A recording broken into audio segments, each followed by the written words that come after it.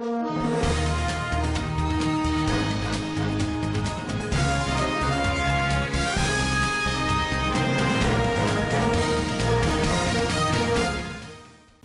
siang pemirsa, jumpa lagi dengan saya dalam program isu dialog.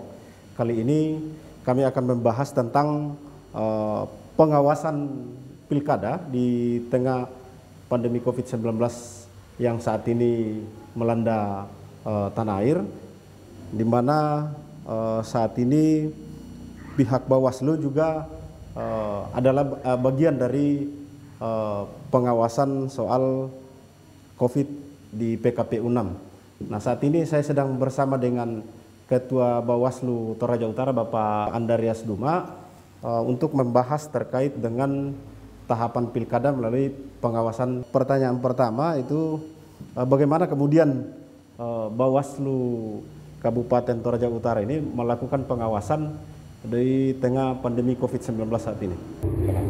Ya, uh, terima kasih. Sebelum saya menjawab uh, terkait dengan pertanyaan itu, saya ingin menjelaskan sekaitan dengan uh, ada beberapa elemen penting yang menentukan sukses tidaknya penyelenggaraan pilkada. Itu yang pertama adalah didukung oleh elemen regulasi yang jelas dan tegas. Nah, uh, di dalam regulasi itu sudah jelas uh, ada uh, Undang-Undang 10 2016 kemudian diturunkan lagi ke teknisnya yaitu peraturan KPU dan setelah itu peraturan Bawaslu. Nah, ketika peraturan KPU itu turun, itu kan sudah jelas aturan-aturan setiap tahapan di dalam.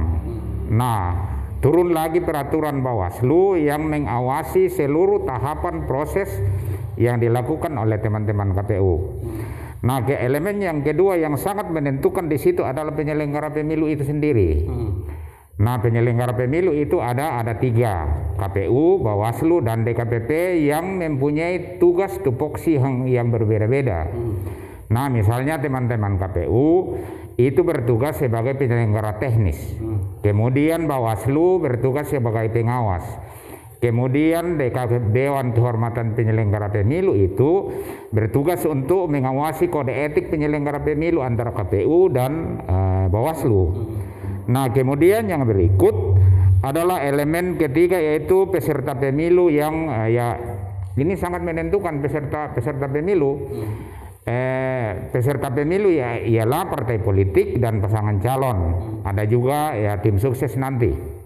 Nah, di sini sangat menentukan ketika pasangan calon atau peserta pemilu itu mematuhi seluruh aturan yang ada, saya kira uh, apa namanya uh, proses penyelenggaraan pilkada itu berjalan dengan baik sesuai dengan aturan yang ada. Kemudian yang ketiga yaitu uh, ada pemilih masyarakat yang yang menentukan karena yang akan memilih adalah masyarakat itu sendiri. Hmm. Jadi uh, eh, masyarakat itu ya paling tidak eh, mempunyai hak untuk memilih dan, dan menentukan siapa yang akan dipilih nanti.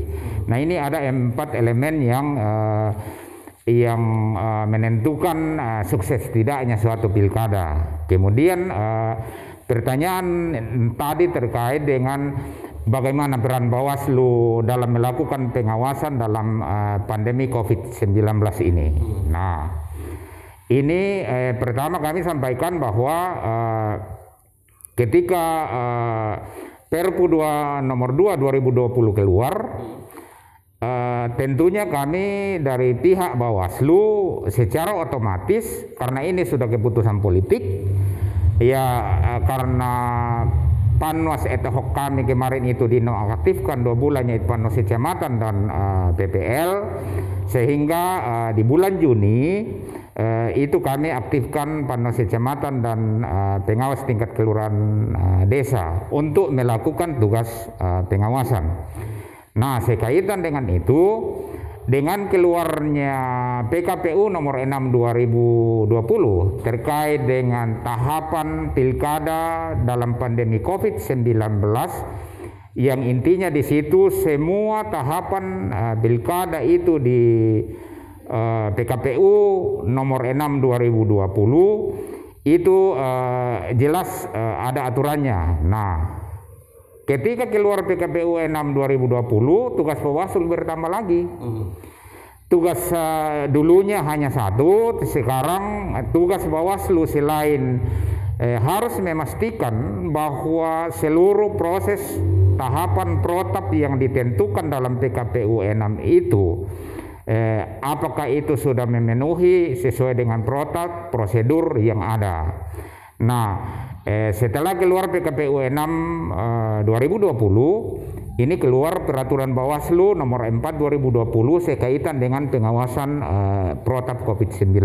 Jadi ini ini bersamaan jadi petunjuk teknis protap COVID-19 keluar, eh, pengawasannya dari Bawaslu keluar.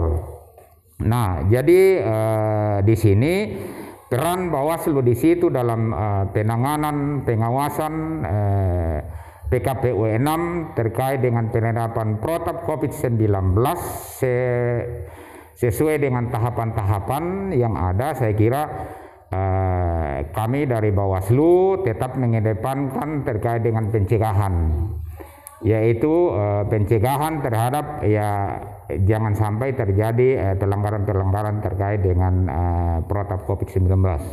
Nah, bagaimana kemudian Bawaslu melakukan pengawasan terhadap uh, apa pelaksanaan uh, pilkada tahun ini yang kemungkinan besar akan dilakukan uh, secara daring atau melalui uh, virtual? Ya. Uh tentunya eh, sekarang eh, Bawaslu tetap eh, berpedoman pada tugas Bawaslu yaitu pencegahan dan penindakan. Nah, eh, dalam PKPU 6 2020 dan Perbawaslu 4 tahun 2020 Uh, tentunya kami dari Bawaslu dan sekarang sudah berjalan terkait dengan uh, pelaksanaan pelaksanaan uh, uh, apa uh, uh, pilkada yang dilakukan apakah rapat koordinasi atau apa dalam bentuk daring mm -hmm. ya saya kira ini kami uh, dari Bawaslu uh, tetap uh, melakukan tugas kami sesuai dengan tupoksi kami terkait dengan pengawasan-pengawasan uh, itu dari uh, apa namanya mungkin uh, dari media sosial atau apa uh, tetap kami uh, apa mengharapkan dukungan dari teman-teman pers media untuk uh, bekerja sama dengan kami eh, terkait dengan hal tersebut. Nah, ini kan nanti Pak pasti akan banyak eh, informasi-informasi uh, yang mungkin saja menyerang satu sama lain. Nah, bagaimana kemudian uh, Bawaslu apakah itu bagian dari pengawasan yang harus dilakukan Bawaslu melalui uh, media sosial ini yang kemungkinan besar akan dilakukan oleh oleh oleh tim sukses karena akan berkampanye melalui media sosial, Pak. Ya, uh, tentunya uh, kami sekali lagi uh, kami dari Bawaslu tetap berpedoman pada aturan yang ada. Jadi ketika uh, aturan dari KPU PKPU contohnya misalnya masa kampanye, kan di dalam masa PKPU kampanye itu pasti akan sudah diatur terkait dengan uh, bagaimana melakukan uh, apa kampanye lewat daring, bagaimana melakukan misalnya pergi mendaftar, bagaimana uh, pengawasan terkait dengan Facebook Facebook. Nah, uh, sekarang uh, kita tidak menutup mata bahwa mulai sekarang itu ada kan uh, di media sosial terkait dengan mungkin menyerang person-person tertentu Uh, tetapi uh, ini sangat sulit karena rata-rata di, di media sosial Facebook itu adalah akun palsu. Mm-hmm. Nah uh, kemarin kami uh, melakukan rapat koordinasi dengan Sentra Gakumdu Toraja Utara dari pihak kejaksaan dan kepolisian dan itu sempat kami bicarakan terkait dengan akun-akun palsu itu. Nah uh, kebetulan kemarin Pak Kasat Reskrim eh, kami sampaikan bahwa eh, tolong uh, dari pihak cyber kepolisian uh, untuk uh, cepat dan tanggap ketika ada informasi-informasi uh, yang kami sampaikan ke yang bersangkutan. Jadi uh, saya kira uh, aturan terkait dengan uh, apa pelaksanaan kegiatan-kegiatan secara daring online saya kira jelas aturannya nanti dan kami tetap akan fokus, kami tetap akan ikuti aturan yang ada. Siapa pun yang yang yang melanggar ya pasti akan kena. Ya. ya. Nah sekarang ini Pak uh, Ketua juga kan sudah mulai terpasang alat peraga seperti baliho, poster dan apa semua. Uh, apakah uh, ini juga uh, masuk bagian yang harus ditertibkan saat ini atau harus menunggu peraturan berikutnya karena sekarang ini sudah banyak uh, alat peraga baliho ini terpasang di tempat-tempat tertentu di halayak ramai begitu. Oh iya, uh, ini uh, hal seperti ini uh, terserang uh, sudah banyak yang bertanya atau langsung datang di di sekretariat Bawaslu untuk bertanyakan itu. Bagaimana peran Bawaslu untuk menyikapi eh, hal tersebut? Nah, kami sampaikan bahwa tentunya ya kembali lagi kami eh, akan tetap berpedoman mengikuti setiap aturan yang ada, setiap tahapan. Nah, eh, terkait dengan baliho dan poster-poster yang yang sudah terpasang sekarang di beberapa titik, eh, kami tidak yang jelas kami di Bawaslu uh, belum bisa untuk berbuat uh, lebih banyak. Artinya uh, ranah kami itu uh, belum bisa masuk di situ, tetapi uh, karena kita memperhatikan etika, estetika dan penataan kota, khususnya lingkungan hidup, Uh, kami dari Bawaslu sudah uh, bertemu dengan uh, pihak terkait khususnya Dinas Lingkungan Hidup. Uh, kami mempertanyakan adakah perda atau peraturan bupati yang mengatur terkait dengan penataan atau penempatan baliho-baliho ataukah eh, poster yang dipaku di pohon, diikat di tiang listrik, diikat di tiang telepon, dan uh, dipasang di tempat-tempat yang mungkin terlarang. Tetapi uh, sampai hari ini eh, kami belum mendapat uh, informasi dari Pemda terkait dengan apakah ada perdanya atau uh, peraturan bupatinya. Karena di situlah rujukan kami untuk menyampaikan ke dinas yang bersangkutan sehingga ketika ada aturan yang mengatur itu kami akan tunjukkan oh ini yang dilanggar ini yang yang tidak sehingga uh, dinas ter yang terkait uh, akan bekerja sama dengan Satpol PP eh, untuk melakukan penertiban itu. Tetapi sampai sekarang kami belum tahu belum tahu apakah ada aturan di Pemda atau tidak. Cuman uh, kami sudah melakukan satu langkah untuk menyurati partai politik. Uh, itu sebatas uh, penyampaian uh, penyampaian dari Bawaslu secara umum bahwa tolong diingat, tolong diperhatikan terkait dengan undang-undang lingkungan hidup. Khususnya terkait dengan poster ataukah baliho atau apa semacamnya yang dipaku di pohon. Nah, itu kan uh, terkait dengan lingkungan hidup. Lingkungan hidup. Nah ini langkah kami untuk menyampaikan kepada partai politik dan itu kami sudah laksanakan. Nah jadi intinya di sini bahwa uh, sekarang tentunya Bawaslu Toraja Utara belum belum bisa berbuat uh, banyak terkait dengan poster-poster itu atau baliho. Yang nanti setelah penetapan uh, calon tetap tanggal 23 September tiga hari berikutnya baru masuk tahapan kampanye baru, baru di situlah Rana Bawaslu akan bertindak mengeluarkan rekomendasi kepada KPU KPU berkoordinasi dengan Pemda setempat eh, dalam hal ini eh, apa Pamong Praja berkoordinasi dengan pihak keamanan tentunya kami juga kita akan turun bersama untuk menertibkan semua eh, baliho, eh, spanduk, poster yang sedang uh, yang yang sudah terpasang sekarang. Nah, karena uh, seperti pada peraturan KPU yang yang lalu, yang mudah-mudahan tidak berubah, pada pemilihan eh, bupati, wakil bupati eh, maupun gubernur itu eh, baliho, spanduk, spot, spot apa poster itu alat peraga kampanye itu dicetak oleh KPU.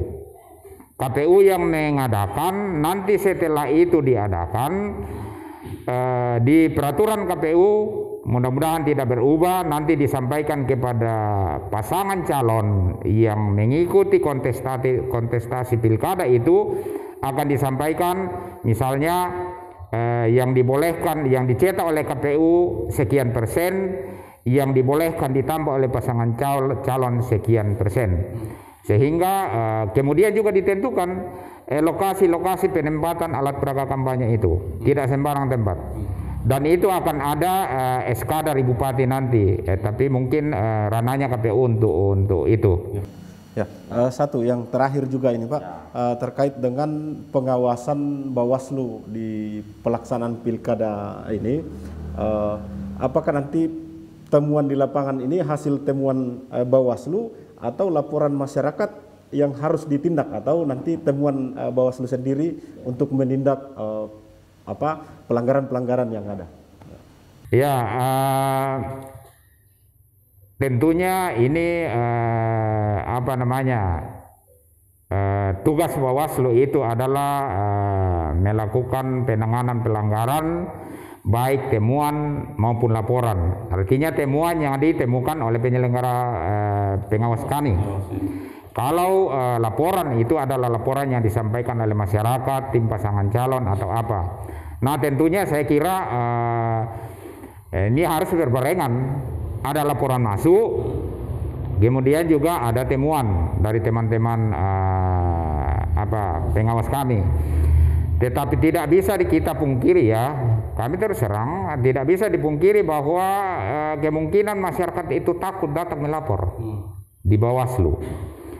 Karena uh, mungkin mereka takut uh, dia tidak mau repot dipanggil memberikan keterangan atau semacamnya atau takut eh, keamanan mereka bahwa nanti yang dilapor itu tahu bahwa dia yang lapor. Nah ini kan menjadi konflik sosial lagi. Nah Eh, kami dari Bawaslu meyakinkan kepada seluruh masyarakat bahwa jangan takut, eh, ini rahasia, eh, ini kan rahasia yang yang yang harus kami eh, pegang. Tidak akan menyampaikan siapa yang melapor, siapa yang melaporkan, siapa yang dilapor. Nah ini yang yang menjadi eh, konsen kami sosialisasi kepada masyarakat terkait dengan uh, apa namanya eh, jangan takut melapor uh, di di Bawaslu tapi ini juga menjadi catatan ketika ada orang datang melapor tetapi mereka takut uh, ini akan uh, bisa saja Bawaslu atau Panwas di setiap tingkatan itu menjadikan temuan.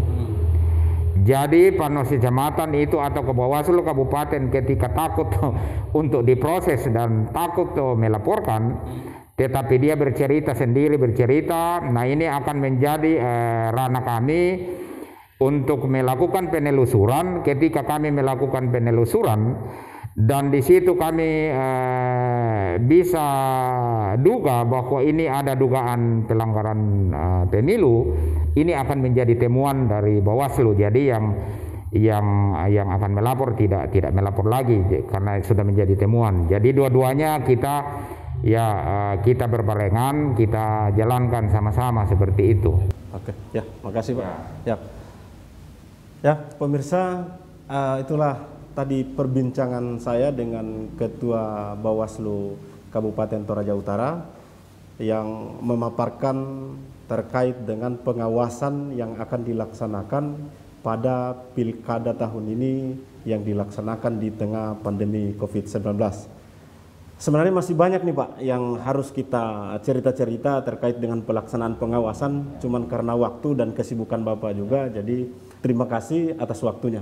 Ya. Ya, demikianlah program isu dialog kali ini. Uh, seluruh kerabat kerja yang bertugas mengucapkan terima kasih atas kebersamaan Anda dan sampai jumpa di program isu dialog berikutnya.